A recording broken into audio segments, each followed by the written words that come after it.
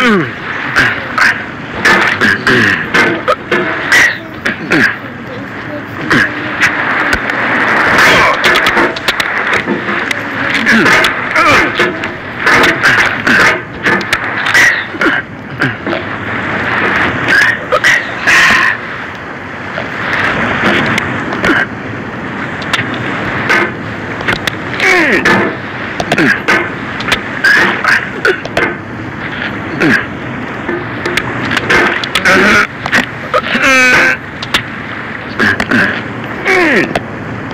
There's no feeling more intense than starting over. If you deleted your homework the day before it was due, as I have, or if you left your wallet at home and you have to go back after spending an hour in the commute.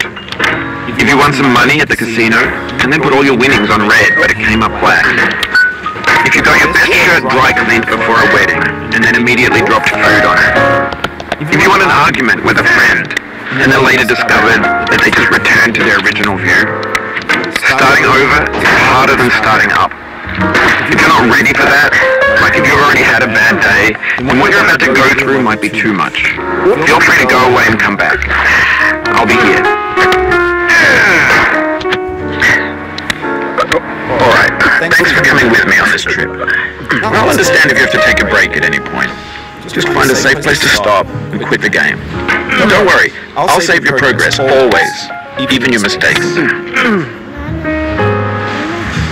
This game is a homage to a free game that came out in 2002 titled Sexy Hiking. The author of that game was Jazzuo, a mysterious Czech designer who was known at the time as the father of B games. The B games are rough assemblages of found objects.